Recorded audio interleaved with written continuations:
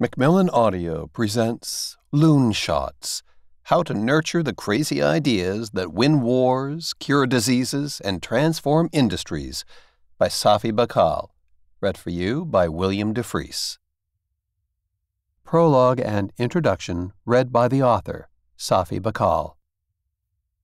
Dear listeners, there is a supplemental PDF that can be referenced during this audiobook. This document will help illustrate some of the visual elements of this book that do not translate well to the audio format. The PDF should have been provided to you by the vendor. Prologue A dozen or so years ago, a friend took me to see a play called The Complete Works of William Shakespeare, abridged. Three actors covered 37 plays in 97 minutes, including Hamlet, in 43 seconds. They skipped the boring stuff. Not long afterward, I was invited to give a talk at a business gathering. The topic was my choice, but it could not be related to my job. I presented 3,000 years of physics in 45 minutes, the eight greatest ideas in the history of the field. I skipped the boring stuff. That greatest hits show ran on and off until 2011, when the personal hobby crossed paths with a professional assignment. I was asked to join a group developing recommendations for the president on the future of U.S. national research. On the first day, our chairman announced our mission. What should the president do to ensure that national research continues to improve the well being and security of our country for the next 50 years? Our task, he said, was to create the next generation of the Vannevar Bush Report. Unfortunately, I'd never heard of Vannevar Bush or his report. I soon learned that Bush developed a new system during the Second World War for nurturing radical breakthroughs astonishingly fast. His system helped the Allies win that war, and the United States lead the world in science and technology ever since. Bush's goal that the U.S. should be the initiator, not the victim, of innovative surprise. What Bush did and why he did it came right back to one of those eight greatest ideas of physics phase transitions. In this book, I'll show you how the science of phase transitions suggests a surprising new way of thinking about the world around us, about the mysteries of group behavior. We'll see why good teams will kill great ideas, why the wisdom of crowds becomes the tyranny of crowds when the stakes are high, and why the answers to these questions can be found in a glass of water.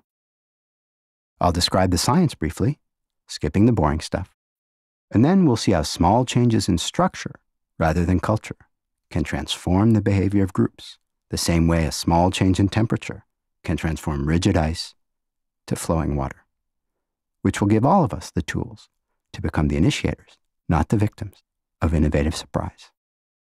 Along the way, you'll learn how chickens saved millions of lives, what James Bond and Lipitor have in common, and where Isaac Newton and Steve Jobs got their ideas. I've always appreciated authors who explain their points simply, right up front. So here's the argument in brief. 1. The most important breakthroughs come from loon shots, widely dismissed ideas whose champions are often written off as crazy. 2. Large groups of people are needed to translate those breakthroughs into technologies that win wars, products that save lives, or strategies that change industries. 3. Applying the science of phase transitions to the behavior of teams, companies, or any group with a mission provides practical rules for nurturing loonshots faster and better. In thinking about the behavior of large groups of people in this way, we're joining a growing movement in science. Over the past decade, researchers have been applying the tools and techniques of phase transitions to understand how birds flock, fish swim, brains work, people vote, criminals behave, ideas spread, diseases erupt, and ecosystems collapse. If 20th century science was shaped by the search for fundamental laws like quantum mechanics or gravity, the 21st will be shaped by this new kind of science. None of which changes the well established fact that physics rarely mixes with the study of human behavior, let alone sits down for a full course meal. So some sort of explanation is in order. I was born into the field. Both my parents were scientists, and I followed them into the family business. After a few years, like many who follow their elders, I decided I should see other parts of the world. To my parents' horror, I chose the business world. They responded to my lost academic career with the five stages of grief, starting with denial, telling family friends it was just a phase, then skipping quickly past anger to bargaining and depression before settling into resigned acceptance. I missed science enough, however, that eventually I joined forces with a handful of biologists and chemists to start a biotech company developing new cancer drugs. My interest in the strange behaviors of large groups of people began shortly afterward with a visit to a hospital. Introduction One winter morning in 2003, I drove to the Beth Israel Deaconess Medical Center in Boston to meet a patient named Alex. Alex was 33 with a strong, graceful build of an athlete. He'd been diagnosed with an aggressive form of cancer called Kaposi sarcoma. Six regimens of chemotherapy had not stopped his disease. His prognosis was poor. A handful of scientists and I had spent two years preparing for this moment. Alex was scheduled to be the first patient to receive our new drug for treating cancer. When I entered his room, Alex was lying in bed, attached to an IV drip, speaking softly to a nurse. A yellowish liquid, our drug, fed slowly into his arm. The physician had just left. Then the nurse, who had been writing up notes in the corner, closed her folder, waved, and left. Alex turned to me with a gentle smile and a quizzical look. The frenzy of activity to get to this day licensing discussions, financings, laboratory studies, safety experiments, manufacturing checks, FDA filings, protocol draftings, and years of research melted away. Alex's eyes asked the only thing that mattered would the yellowish liquid save his life? Physicians see this look all the time. I didn't. I pulled up a chair. We talked for nearly two hours as the drug dripped into Alex's arm. Restaurants, sports, the best cycling paths in Boston. Toward the end, after a pause, Alex asked me what would be next if our drug didn't work. I stumbled through some non answer, but we both knew. Despite tens of billions of dollars spent every year on research by national labs and large research companies, sarcoma treatment hadn't changed in decades. Our drug was a last resort. Two years later, I found myself pulling up a chair next to another bed in a different hospital. My father had developed an aggressive type of leukemia. One older physician told me, sadly, that all he could offer was the same chemotherapy he had prescribed as a resident 40 years earlier. Second, third, and fourth opinions and dozens of desperate phone calls confirmed what he said. No new drugs, not even any promising clinical trials. There are some technical reasons why cancer drug development is so difficult. So many things have broken down inside a cancer cell by the time it starts proliferating that there's no easy fix. Laboratory models are notoriously bad at predicting results in patients, which leads to high failure rates. Clinical trials take years to conduct and can cost hundreds of millions of dollars. All these points are true, but there's more. Miller's Piranha. They looked at me like I was a lunatic, Richard Miller told me. Miller, an affable oncologist in his 60s, was explaining to me the reactions of research teams at large pharma companies to his suggestion of treating cancer patients with a new drug he had been working on. It was a chemical designed originally just for laboratory use, for experiments, a tool like bleach. Most drugs work by gently attaching themselves to the overactive proteins inside cells that trigger disease. Those proteins act like an army of hypercharged robots, causing cells to go haywire. The cells may start multiplying out of control, like cancer, or they may attack the body's own tissues, like in severe arthritis. By attaching to those overactive proteins, drugs dial down their activity, quieting the cells, restoring order in the body. Miller's drug, however, didn't gently attach. It was a piranha, an irreversible binder to chemists. It grabbed hold and never let go. The problem with piranhas is that you can't wash them out of your system if something goes wrong. If they latch onto the wrong protein, for example, they can cause serious, even fatal toxicities. You don't give piranhas to patients. Miller was the CEO of a struggling biotech company. Its first project, developed a decade before Miller's new drug, hadn't panned out.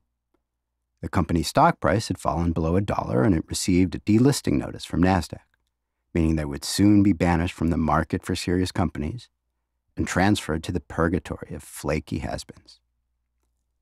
I asked Miller why he persisted with the piranha in that precarious state, and despite so many rejections, even ridicule. Miller said he understood all the arguments against his drug. But there was a flip side. The drug was so strong that he could give a very low dose. Miller also served part time as a physician at Stanford University. He explained that he knew his patients. Many had only months to live, were desperately looking for options, and understood the risks. The potential in this context justified the risk. There's a quote from Francis Crick that I love, Miller said. Crick was awarded the Nobel Prize for discovering, along with James Watson, the double helix structure of DNA. When asked what it takes to win a Nobel Prize, Crick said, Oh, it's very simple. My secret had been, I know what to ignore. Miller shared the early laboratory results from his piranha with a handful of physicians who agreed to proceed with a clinical trial in patients with advanced leukemias. But Miller's investors were not convinced. Miller, to this day, if you ask them how the drug works, they wouldn't know.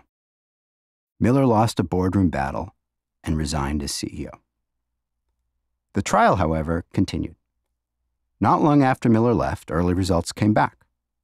They were encouraging. The company began a much larger pivotal study. Half the patients would receive standard therapy, half the new drug. In January 2014, the physicians monitoring that study, which enrolled nearly 400 patients, recommended that the trial be stopped. The results were so spectacular, a nearly 10 times higher response rate in patients who received Miller's drug, called ibrutinib, than in patients who received standard therapy, that denying patients in the control group access to ibrutinib was considered unethical. The FDA approved the drug shortly afterward. A few months later, Miller's company, called Pharmacyclics, was acquired by one of those large pharma companies that had ridiculed the idea. The price? $21 billion. Miller's Piranha was a classic loon shot. The most important breakthroughs rarely follow blaring trumpets and a red carpet with central authorities offering overflowing pots of tools and money. They are surprisingly fragile. They pass through long, dark tunnels of skepticism and uncertainty, crushed or neglected, their champions often dismissed as crazy, or just plain dismissed, like Miller. Drugs that save lives, like technologies that transform industries, often begin with lone inventors championing crazy ideas but large groups of people are needed to translate those ideas into products that work.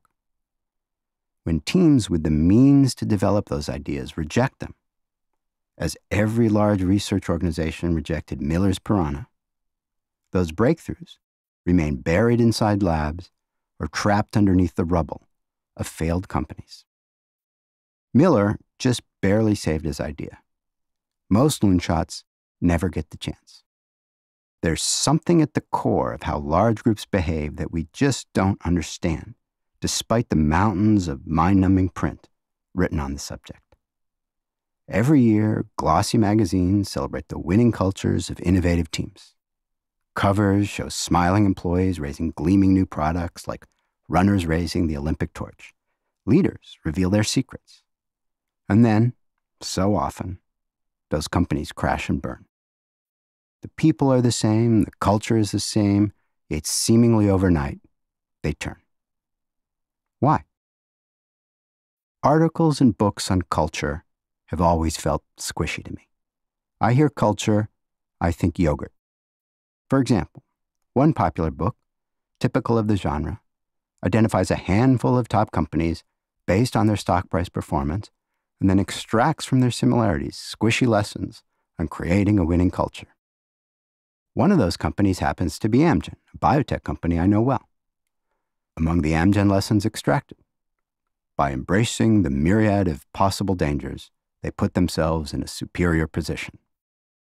The real story with Amgen is that after a couple years in business, the company was nearly bankrupt.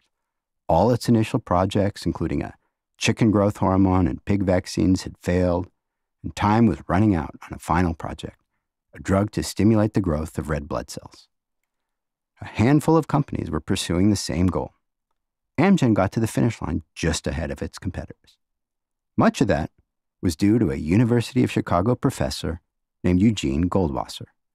Goldwasser had worked on the problem for 20 years and held the key to winning the race an 8 milligram vial of purified protein, painstakingly extracted from 2,550 liters of human urine.